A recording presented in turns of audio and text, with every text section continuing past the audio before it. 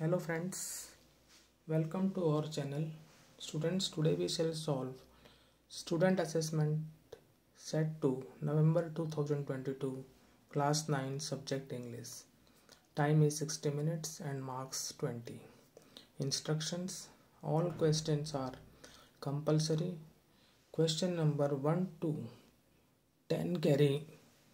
1 mark each. Question number 2 10 to 12 carry 2 marks each question number 13 to 14 carry 3 marks each now 1 to 5 mark right on the correct answer first in the poem the snake trying in poet's views the snakes are a harmful to us b not harmful to us see enemy to S D none of the above तो poem जो snake trying है उसमें poet के view में जो snakes हैं वो हमारे लिए हार्मफुल नहीं है हानिकारक नहीं है तो option B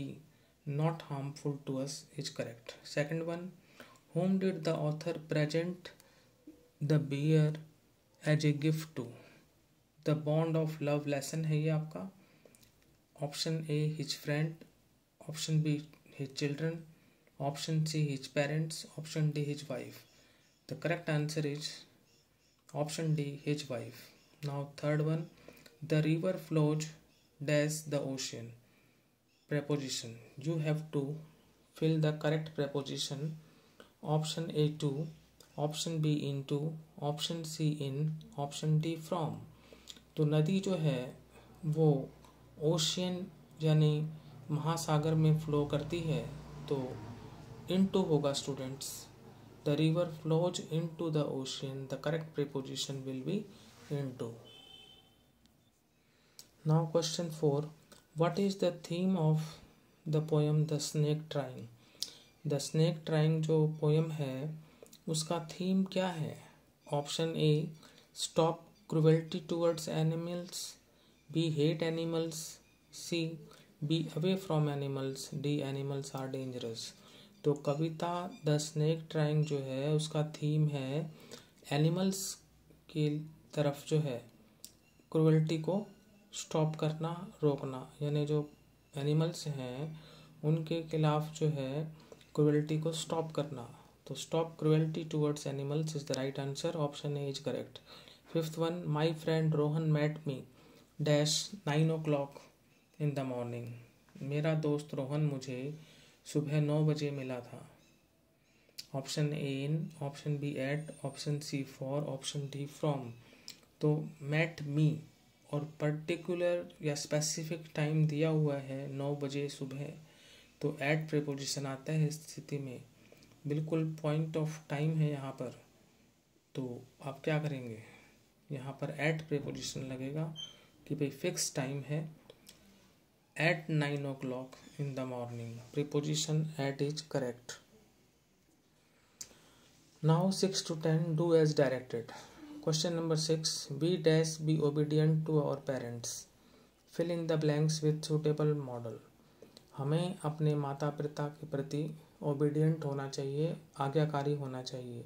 तो दिस इज आवर ड्यूटी ये हमारा कर्तव्य है और ऐसी स्थिति में जब ड्यूटी और कर्तव्य की बात हो तो मॉडल शुड का प्रयोग होता है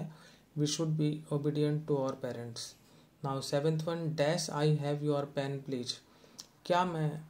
आपका पेन ले सकता हूँ प्लीज़ रिक्वेस्ट की गई है पोलाइट रिक्वेस्ट है और यहाँ पर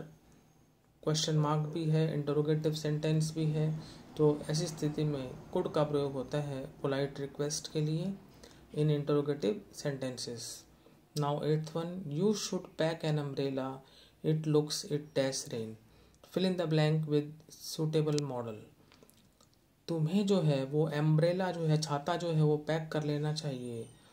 ऐसा लगता है कि बारिश हो सकती है यानी कहीं जाना है तो अम्ब्रेला पैक करने के लिए भी कहा है that means possibility of rain is much more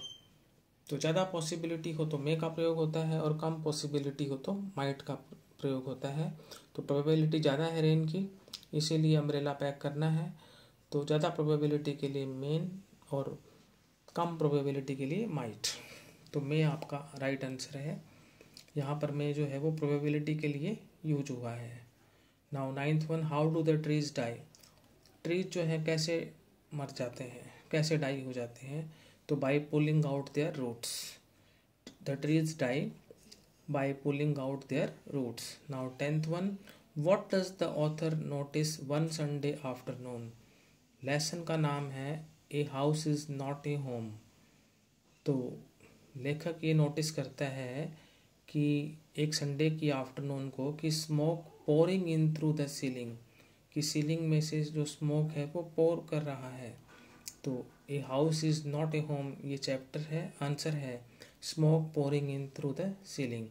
और students eleven to fourteen question जो है आप सेल्फ अटैम्प्ट कर सकते हैं इसके लिए हम वीडियो जो है बाद में डालेंगे